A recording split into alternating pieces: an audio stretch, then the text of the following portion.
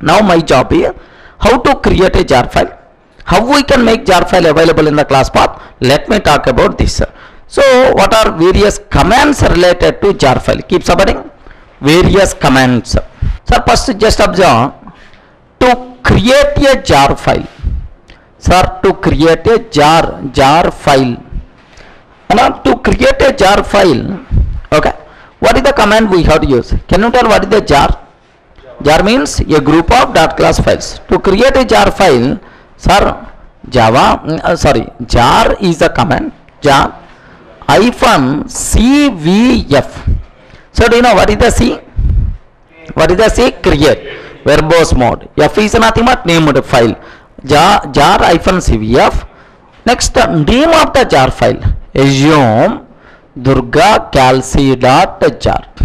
This is my name of the jar file sir with the which dot class files you want to create then automatically here test dot class sir with the test dot class can you please create this jar file is nothing but like to create a jar file or so generally with only one class we never going to create a jar is nothing but generally generally we want to there may be a chance of group of dot class file then now you can run jar hyphen cvf Durga calci dot jar.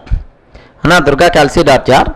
Now I'm taking A dot class B dot class and C dot class right sir with these three classes can you please create a jar file is nothing but like we how now jar hyphen CVF jar hyphen CVF Durga calci dot jar Durga calci dot jar with star dot class durga calci dot jar with with all dot class files whatever there can you please create a jar file is nothing but like we can next uh, jar hyphen cvf can you please create a jar file durga calci dot jar with the star dot star sir whatever there in current working directory with all those things can you please create a jar file can you please create a jar file like we have i hope you people can able to understand that okay this is so what is the how to create a jar file what is the command we have to use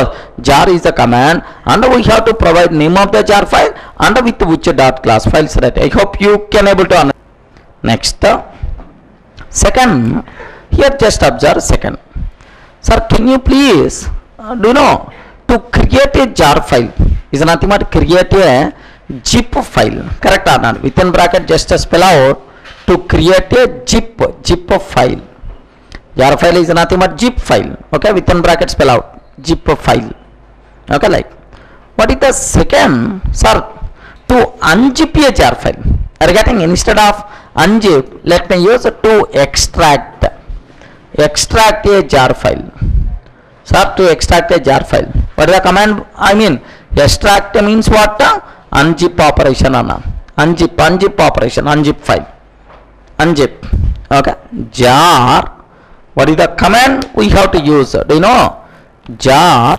ah jar hyphen here we have done c means what create but now my target is extract hyphen xvf now what is the meaning of x extract extract a named file which jar file you want to extract durga Durga calci dot jar like extract extract jar hyphen XVF Durga calci dot jar extract jar file like add jar hyphen X V F Durga calci dot jar is a command okay for extract a jar file now the third one completed right okay now just observe let me let me go for third command also here so my third command is don't unzip are you getting don't don't unzip unzip jar file my my requirement is can you please uh, display table of contents present inside a jar file can you please uh, display table of contents present inside a jar file now what is the meaning of contents present inside a jar file sir within the jar which classes are there can you just uh, display names that's all? A dot class b dot class c dot class like i want to display table of contents of a jar file. Okay what is the command? So to display uh, to display table of contents table of contents what is the command? We have to use jar sir jar. Command is jar.